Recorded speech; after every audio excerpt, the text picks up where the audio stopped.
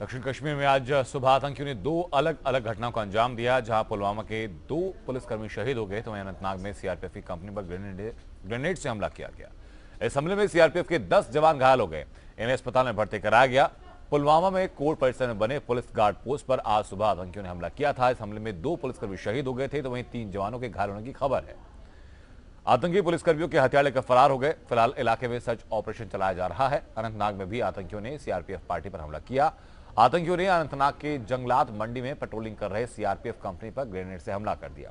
इस हमले में सीआरपीएफ के 10 जवान जख्मी हो गए जिन्हें अस्पताल में भर्ती कराया गया। इनमें से एक जवान की हालत नाजुक बनी है।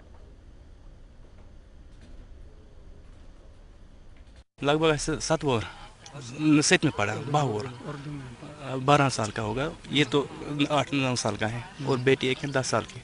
बस। हमें सुबह छः बजे पता चला।